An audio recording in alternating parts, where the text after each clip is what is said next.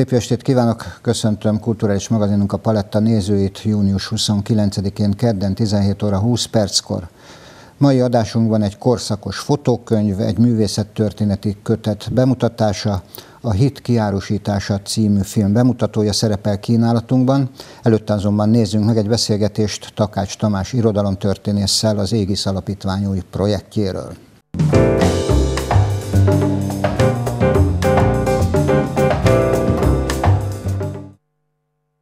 Nos, kedves nézőink, ahogy ígértem, a Paletta magazinban Takács Tamás a vendégem, aki az egész kulturális alapítványt képviseli, és most projektmenedzserként érkeztél. Szervusz, örülök, hogy Szervusz, itt vagy velünk. Köszönöm a nézőket. Ugyanis egy rendkívül fontos projekt, amely tehát kezdtetek el, amely Székesfehérvár irodalomtörténete kulturális életének nagy alakjai Virág Benedektől napjainkig szerepelnek a kínálatban, és a kedves nézőknek is mondom, hogy ezt mi megkaptuk az alapítványtól, és rövidesen természetesen szép sorban be is fogjuk mutatni. De mielőtt erről beszélgetnénk, hiszen ez egy nagyévű történet, kell, hogy szó essék az alapítványról, hiszen nagyon is jól tudjuk, a Székesfehérvár kultúra kedvelő polgárai legalábbis tudják, hogy gyakorta találkozhatunk az Égész Alapítvány kulturális műsoraival, irodalom a többségében a a téma a Szabad Színházban, tehát az igézőben a főutcán, és én már régóta gondolkodtam azon, hogy egy kicsit mutassuk be ezt az alapítványt, hiszen a kortárs kiemelkedő alkotókban jeleskedtek, fiatal művészeket mutattok be, és, de azért a témák között ott van Európa kulturális örökségének ápolása, és kiemelten foglalkoztak mindezzel. Honnét jött a gondolat, hogy egy ilyen alapítványt csináljatok, hiszen majd később azért beszélünk, tehát rendkívül sok neves kortás művész szerepel. Köszönöm a kérdést. Közel tíz éve, vagy több mint tíz éve alakultunk meg, mint alapítvány. Talán nem meglepő módon egy baráti társaságként kezdtük el, illetve baráti társaságból indult el maga ez az egész alapítványosdi, Gyakorlatilag olyan kultúra szerető fiatalok voltunk, akkoriban még fiatalok, akik próbáltunk valami olyan, olyat tenni, ami a közösségért működik, illetve a magunk szakterületén be, be tudjuk mutatni ezt az érdeklődőknek. Akikkel elindultunk, ugye Köveri Péter volt a zenei illetve még mindig ő a zenei vezető, ugye ő Bécsben végzett a Zeneakadémia, illetve itt Fehérváron tanult, illetve itt Fehérváron is tanított, a zeneiskolában is. És innen, innen indultunk. Gyakorlatilag a kezdeti lépéseket Agárdon és Gárdonyban tettük meg, ott egy-két évet szánypróbálgatásokkal töltöttünk, annak érdekében, hogy kitapasztaljuk, hogy mik az alapítványnak a egyetlen a működési körei. Ugye elég laikusak voltunk ebben a témában, amikor elindultunk, nem igazán tudtuk, hogy hogyan működik akár egy-egy pályázási rendszer, egy-egy támogatás megnyerése, illetve az adományoknak a beszer, be, megszerzése különböző módokon, felkeresni cégeket, felkeresni magánszemélyeket, ki mire hajlandó az anyagi javait ráfordítani. És miután ezeket a szánypróbálgatásokat egy-két év alatt lezártuk Agárdon Gárdonyban, akkor úgy gondoltuk, hogy egy nagyobb területre lépünk, illetve mivel hogy nekem is van székesfehérvári kötődésem, ugye ide jártam én például a gimnáziumba, a Ciszterbe, illetve közel áll hozzám Székesfehérvár minden tekintetben. Úgy gondoltam, hogy a meglévő kulturális élet mellé kis színesítésként megpróbálunk ebbe becsatlakozni. És mivel én ugye irodalom történészként tevékenykedtem, illetve tevékenykedem a mai napig, különböző kortárs folyóiratoknál, illetve különböző kortárs, hogy mondjam, egyesületeknél mindenféle tisztséget töltöttem be már az elmúlt évek során, és így, így gondoltam, hogy érdemes lehetne ezt esetleg Fehérváron egy kicsit nagyobb ívben bemutatni, illetve nem csak ezt, hanem hogy a, ezzel, ehhez kapcsolódó irodalmi, irodalmi dolgokat, irodalmi esteket. Így tehát, ahogy említetted is, rengeteg olyan a, a kortárs szerzőt hívtunk le, akik egyébként az alapítványunknak a célkitűzései, hogy a kortárs szerzőket is mutassuk be, ugyanis amikor elkezdtük, volt egy olyan gondolatom, hogy az az kép él az emberek fejébe, hogy az irodalmat valahogy úgy értékelik, hogy ilyen könyvben lévő halott emberek művei, akik így valamiféle távolságból, meg több száz év távolságból tekintenek ránk, és akkor az ő munkáikat kell értelmezni, meg olvasni, és hogy megpróbáltam egy kicsit a fiatalabbak fejével gondolkodni, és hogy ha a kortárs szerzőket esetleg megismerik és látják, hogy így élő, akár meg is foghatják, na jó, ez a vicc része akart lenni, tehát hogyha ha találkoznak kortárs szerzőkkel, akkor ők egy kicsit talán jobban mm, átérzik, hogy mit jelent ez az Igen. irodalom. Ez, és ez bejött, hiszen itt a Parnassus kortárs apostolai címmel ez az irodalom megismerésében, a kortárs irodalom megismerésében rendkívül fontos szerepet játszott itt Székesfehérváron is, és mindenütt másutt. Mert azért, ha néhány mondjuk, hogy Urbán Péter, Faludi Ádám, Emőtt Tamás, és a többiek, ez egy nagyon-nagyon fontos. Viszont foglalkoztatok zenével is, és külön költők, írók fellépései. Itt is végtelen a névsor, tehát ha csak azt mondom, hogy ha csak Székesfehérvárra mondjuk, akkor Cserta Balázsék, akkor Dres Mihály, Igen. Hámori, Kővári, a zenekarok, aztán a fellépő írók, költők közül csak ízelítő Janku Laura, Jókai Anna, Isten nyugasztalja, Szabó T. Anna, Bíró Gergely, Falusi Márton, Ferdinándi György és a többiek, Laszkfi Jánossal az élen, azt hiszem, hogy ez egy nagyon-nagyon fontos.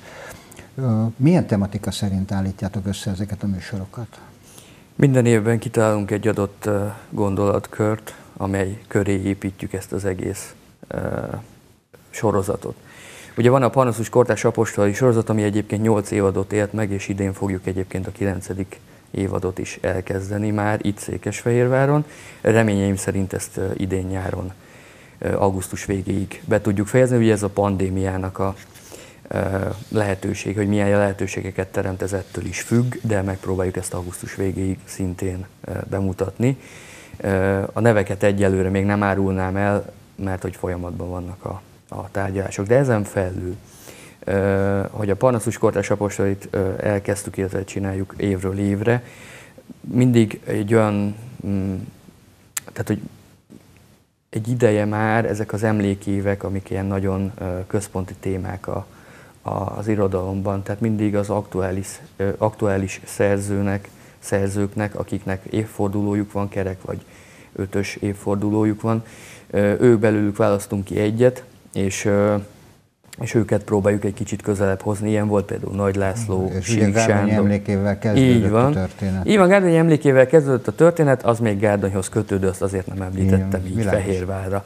De ami itt volt, az mondjuk Nagy Lászlóval kötődő, Sík Sándorhoz kötődő, illetve most uh, Tamási Áronhoz kötődő, illetve volt egy Zrínyi is, ugye az a pandémia miatt egy kicsit ilyen keserédesre vagy félig uh-huh félig meddig sikerült. Mennyire viselte meg egyébként az Egyesületet, az alapítványt a, a koronavírus járvány? Nehéz talpra állni? Ö, addig is a tervezés időszakát éltük. Én azt, azt vallom, hogy nincs olyan helyzet, amiből ne lehetne felállni, ne lehetne tanulni, úgyhogy megpróbáltuk ezt is olyan ö, dolgokra fordítani, amelyekkel egyébként is foglalkozunk, amire eddig kevés idő jutott. Ilyen például a könyvkiadás, amivel szintén foglalkozunk. Eddig több mint 15 kötetet jelentettünk meg. Idén is van három könyvünk folyamatban. Nyilván ezek elérhetőek a nagyobb könyves láncoknak a polcai. No, megérkeztünk ehhez az új projekthez. Én azt gondolom, hogy ez egy példa arra, miként lehet nagyívű projektet, programot tervezni úgy, hogy a teljesség igényével. Mert hogy ezt majdnem csak mondhatjuk, hogy a teljesség igényével, hiszen ha azt mondjuk, hogy Virág Benedekkel kezdődik és eljut a, a kortárs magyar irodalom Székesfehérvárhoz kötődő alkotóihoz, akkor ez valóban az. Honnét jött a gondolat, és hogyan választottátok ki azokat a szerzőket, akiket majd ezekben a filmekben bemutattok, illetve kik azok, akik ebben a programban részt vesznek? Először is annyi kiegészítést tennék, hogy ugye a projektet azt 1001 és 1830 közötti időszakra hm. lőttük be. Ebbe a, ebbe a meghatározott időintervallumban vagy ból a Székesfehérvárhoz kötődő alkotókat fogják bemutatni irodalomtörténészek, illetve kultúrához közel álló személyek, akár fehérváriak is ezt fontos hangsúlyozni, hogy találtunk nem egy, nem két olyan fehérvári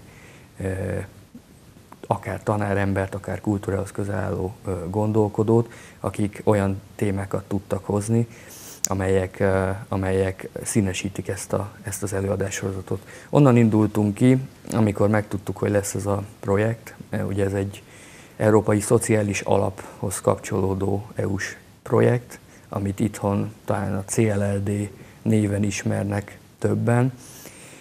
Gyakorlatilag ez egy területfejlesztési projekt, amelynek van egy olyan része, amely a kultúrát, illetve a, a, a kulturális örökség megjelenítését célozza. Ebbe a részbe gondoltuk, hogy mi tudunk focizni, és ahhoz a részhez, amihez értünk, vagy értek, az gyakorlatilag a, én az egyetemen is a régi Magyarország irodalommal foglalkoztam inkább, ezen belül is Pázmány Péterrel, ami ugye a, kora újkor időszaka gyakorlatilag, illetve hát az ezzel ez, ehhez kapcsolódóan egy kicsit korábbi és kicsit későbbi időszakokkal is nyilván. E, tehát ez az a kor, gyakorlatilag az 1001 és 1830, amelyet én így tudomásom, vagy tudásom szerint, illetve ismerőseim tudása szerint le tudok fedni, magas szinten, véleményem szerint, és ezért próbáltam ezt az időszakot belülni, amely, amelyben gyakorlatilag a cél az, hogy Székesfehérvár lakói, illetve nem csak Székesfehérvár lakói, de főleg ők megismerjék, illetve még jobban megismerjék a, az itt élő alkotó írókat, költőket olyan szempontból, egy kicsit ismeretterjesztő jelleggel, de egy kicsit tudományos jelleggel is. Tehát egy, egy kicsit mélyebb uh, ismereteket szerezzenek az Tehát adott ha tartalmi költő. oldalba belemegyünk, akkor ez nem egy életrajzi elemzés, hanem uh-huh. sokkal több annál. Igen, reményeim szerint Tehát ez. az alkotói utat kívánjátok bemutatni irodalomtörténészek segítségével? Nem csak, hogy az alkotói utat szeretnénk bemutatni, hanem egy-egy olyan rész problémára, vagy rész kérdésre, amelyek érdekesek lehetnek a ma embere számára is. Olyan témákat kerestünk meg. Ugye Székesfehérvárhoz mondjuk egy konkrét példát mondanék, azért minden, minden előadót nem mondanék el, mert hogy a műsoridő is véges. Vörös Marti ugye egy olyan központi szereplő, akinek mm. rengeteg kötődése van Fehérvárhoz. Elég csak annyit mondani, hogy ő is a ciszterben végzett, akkor talán nem ciszterként működött, vagyis ezt most így pont nem tudom, ezt is be kell vallani. Szóval, Vörös Martiról négy előadás is lesz. Az egyik előadás az pont ezt a diák korát fogja feltárni, bemutatni, ami egy nagyon érdekes kérdéskör, ugyanis ez egy elég jól dokumentált időszak a Vörös Mart életének, amelyről eddig viszonylag keveset hallhattunk és olvashattunk bármilyen irodalomtörténeti folyóiratban vagy, vagy könyvben. Ezen felül lesz olyan Vörös Marti mm, előadás, amely Csajági Laura felől közelíti meg az ő, ő életét, illetve hát a Csajági Laurával való kapcsolatát. Annyit elárulhatok ugye, hogy Csajági Laurát például nem is Laura néven anyakönyvezték. De ezt is remélem, hogy néhányan már tudták, de hogy mi volt az ő eredeti eh, anyakönyvezet neve, ezt majd az előadásból megtudhatják. Tehát eh, érdekes lesz minden bizonyal. Most már csak az a kérdés, hogy ugye elkezdődött a munka, mikor láthatjuk mi itt a Fehérvár televízióban, illetve miként láthatják a nézőink? Először ezt a, az Égisz a Kultúrért és Művészetért Alapítvány Facebook oldalán fogjuk bemutatni. Ezt július közepétől láthatják az érdeklődők. Természetesen erre egy Facebookos kampányt is fogunk indítani, amelyet, amelyet remélem, hogy mindenki el tud érni majd. Ingyenesek lesznek természetesen az előadások, ingyenesen láthatók és július mm, végétől, augusztus elejétől láthatják a Fehérvár televízióban. Igen, tehát mi is megkaptuk a felajánlást, Igen. és köszönettel vettük. Én azt gondolom, hogy ez nagyon-nagyon fontos ebben az időszakban. Nos, hát ehhez kívánok én jó munkát neked, és bizakodva várjuk az augusztusi időpontot, hiszen az irodalom Székesfehérvár számára mindig fontos volt. Köszönöm szépen, Tamás, Köszönöm szépen. Voltál. Kedves nézőink, mi pedig folytatjuk a Paletta magazint.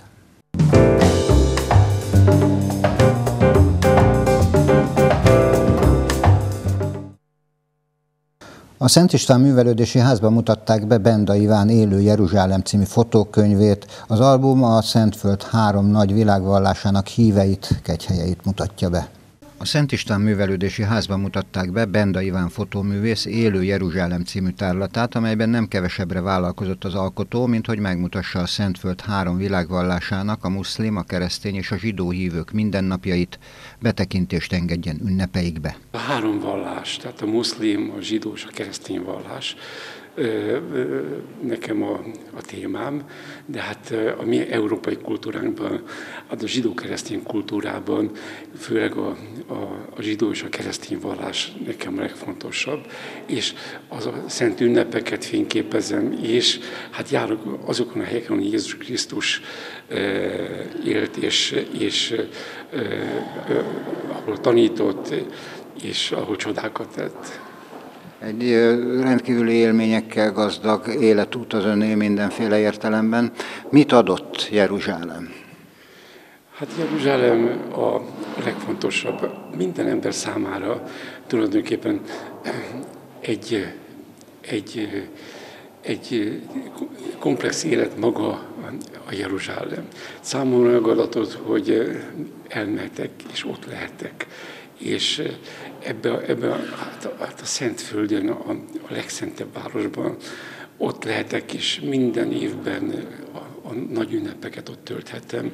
És hát egy zarándék, zarándokút, minden évben elzarándokolni arra helyre, ahol a mi kultúránk gyökere van.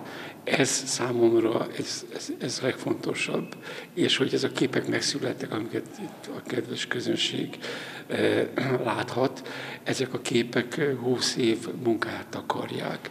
Ebből könyv is született, eh, nem is egy, eh, két könyvem van, egyik a Csodabik világa, a másik meg az út, az igazság és az élet, Jézus Krisztus élete, és, és születéstől a menteléig, és hát ez, ez ennek az összefoglalása kiállításban itt látható most Fehérváron. Spány Antal megyes püspök köszöntőjében hangsúlyozta, Jeruzsálem szenterei minden felekezet, minden közösség számára kiemelten fontosak, függetlenül attól, hogy zsidó, keresztény vagy muszlim. Amikor megnéztem először ezt a kiállítást, nagyon jó leső érzések ébredtek bennem. Részben megadatott nekem, hogy járhattam a Szentföldön, ahol ezek a képek készültek, emlékek idéződtek bennem, lelki találkozások élettek újjá. Másodszorban azért örültem, mert olyan felvételeket találtam, amelyeket nem láthattam. Például a Via Dolorosának egy olyan felvételét, ahol egyetlen lélek sem látható. Ahányszor ott voltam, mindig tömeg volt, mindig hangoskodás volt, mindig zsúfoltság volt, most egy egészen új képét mutatta számomra ez a felvételen keresztül, ez az emlékhely, ahol nincsen ember, láthatom a maga valóságában.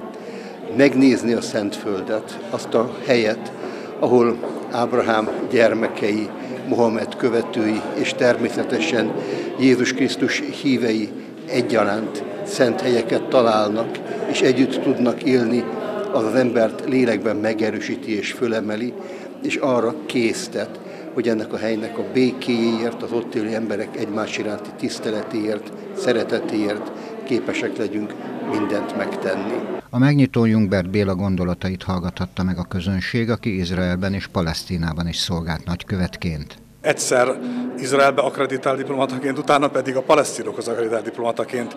Így mindkét oldal kihívásait, fájdalmát, reménységét volt alkalmam életközelből megítélni, megélni, és hát mi nyilván diplomataként a mindenkori magyar kormány külpolitikáját képviseljük, de az ember nem tud magyarként, keresztényként, érző emberként teljesen semlegesen viszonyulni azokhoz a konfliktusból származó kihívásokhoz, amelyekkel napi szinten találkoztunk. Elkeserítő, hogy Jeruzsálemről ma is a híreket nézve a konfliktus, a nehézségek, az együttélés és a sokféleség kezelhetetlensége az, ami átjön. Valójában számomra Jeruzsálem mindezek ellenére a béke szentvárosa, ahol a három ábrahámi alapú monoteista világvallás lényegi dogmatikáját innen származtatja, és alapvetően a béke, az egymás mellett élés, a tolerancia lelke és szelleme az, ami árad. Hogy pillanatnyilag, és hát hosszú idő óta nem ez a valóság, ezt egyrészt sajnálni lehet, másrészt dolgozni kell az illetékeseknek azon, hogy végre úgynevezett végső átfogó megállapodás rendezze a konfliktust, és végre zsidók, muszlimok és keresztények hát együtt és egymás mellett tudjanak létezni, élni, egymást erősítve. A nemzetközi közösség számára az egyik legélőbb konfliktus ez a kérdés. Nem vitás, hogy Izraelnek joga van az önvédelemre, sőt kötelessége megvédeni polgárait. Ugyanakkor ne felejtsük el, hogy a palesztinoknak is vannak jogaik, többek között önrendelkezési jogaik, és mindenkinek vannak emberi jogaik. Nekem, mint a Jeruzsálemi Szentsír lovagrendnek a képviselőjeként, nekem az is fájdalmam, hogy nagyon sajnálatos módon és növekvő mértékben vándorolnak el a keresztények a Szentföldről, és ez is egy olyan körülmény, ami elgondolkodható, elszomorító és jelzi, hogy megoldatlan kérdések halmazza állott. Ezt a kérdést, a közel-keleti kérdést, ahogy mondjuk, azt a bizonyos békétlenséget az olajfák alatt nem lehet logisztikai, technikai kérdésnek tekinteni. Munkahelyekkel, beruházásokkal, piaccal nem lehet kiváltani azt, hogy itt nagyon mélyen gyökerező történelmi sérelmei vannak az érintett közösségeknek, és ebben segítséget kell nekik nyújtani, hogy békésen rendezni tudják. Az, az ijesztő és elkeserítő egyszerre, hogy hogy mindig csak túllépünk ezeken a kezelhetetlen konfliktus menedzselési kudarcokon, és a nemzetközi közösség mai napig nem találta meg a megoldást arra, hogy hogyan lehetne békét teremteni ebben a konfliktusban. Nem tisztem most ebben az összefüggésben részletezni, hogy milyen opciók, elképzelések vannak, de tény az, hogy ez a kérdés megoldatlan, és a szélesebb térséget is destabilizálja, és az egész nemzetközi közösség számára, nemzetközi szervezetek számára is hát egy permanens feladat. Benda Iván gondolatébresztő soraival rávilágít arra, mit jelent az emberiségnek Jeruzsálem. Sosem tudtam elképzelni, milyen lehet az olajfák hegye. De ahogy itt vagyok, minden olyan egyszerű. Hajnalonként felbaktatok a meredek kaptatón, magam mögött hagyom a Gecsemáné kertet, és a kanyargós úton, temetők mellett elsétálva lepillantok az óvárosra. Ilyenkor minden nagyon csendes. A felkelő nap előbukkan a hegy mögül, és az óvárost beteríti fényével.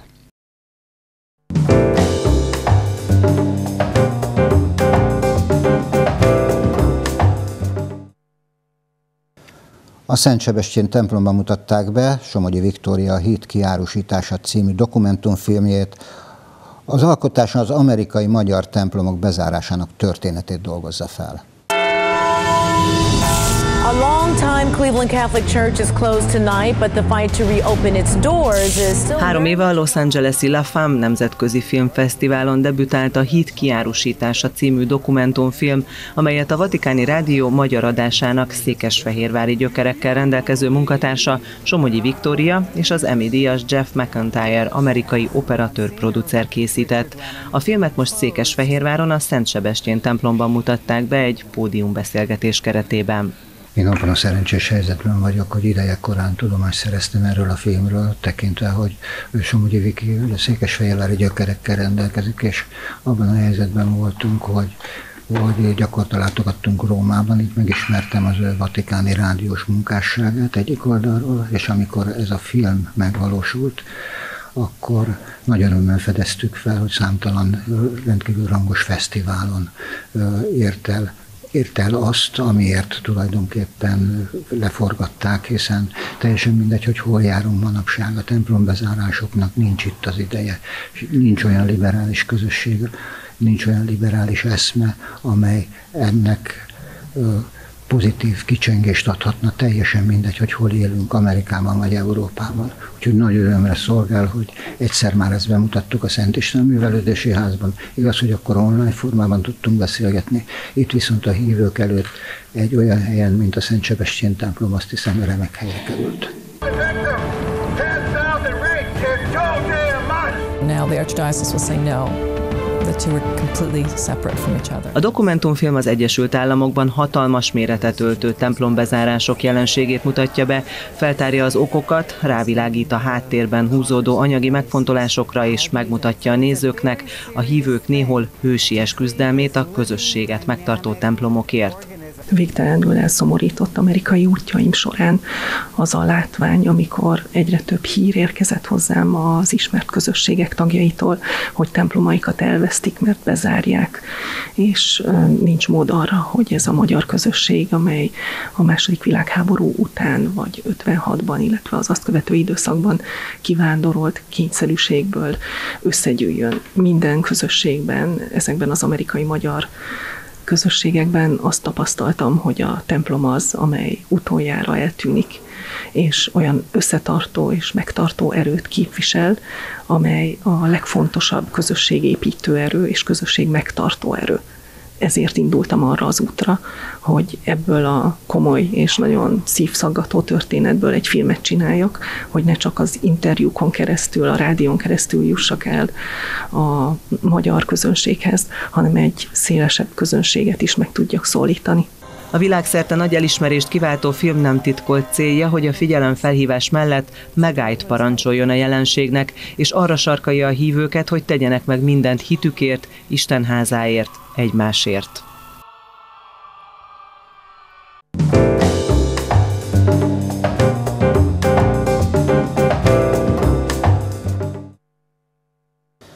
Kisfaludi Strób Zsigmond, Pásztor János, Sidló Ferenc és Szentgyörgyi István, ők az irredent a szobrok mesterei. A 2020-ban megjelent könyvet a művészettörténész szerző Ludman Mihály mutatta be a Vörösmarty könyvtár olvasótermében.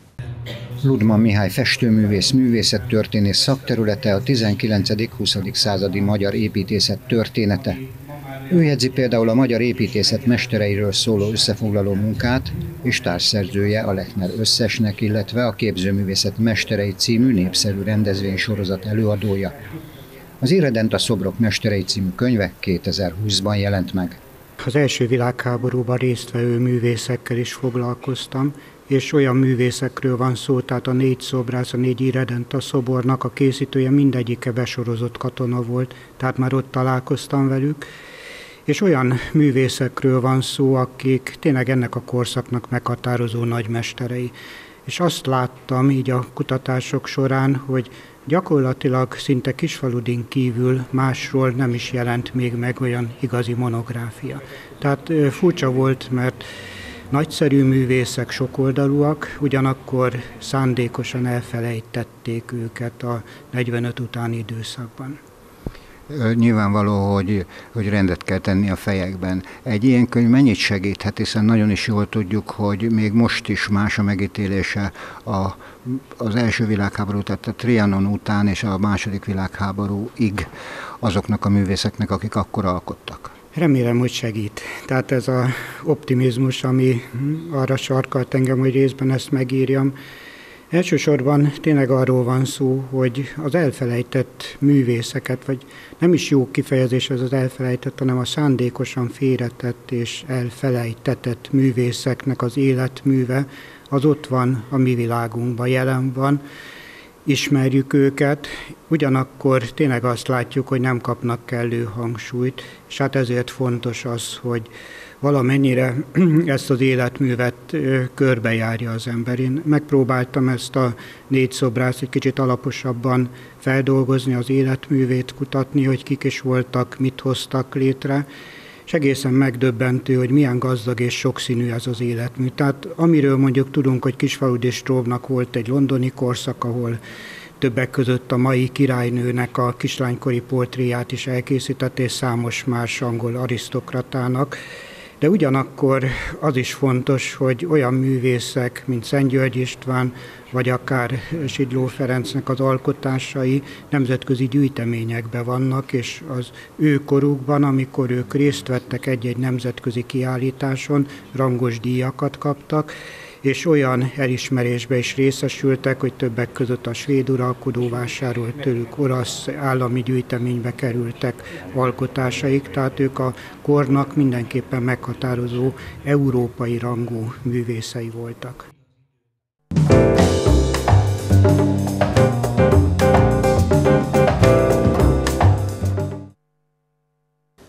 Kedves nézőink, köszönöm megtisztelő figyelmüket, találkozunk a jövő héten ugyanebben az időpontban, ugyanitt. Viszontlátásra!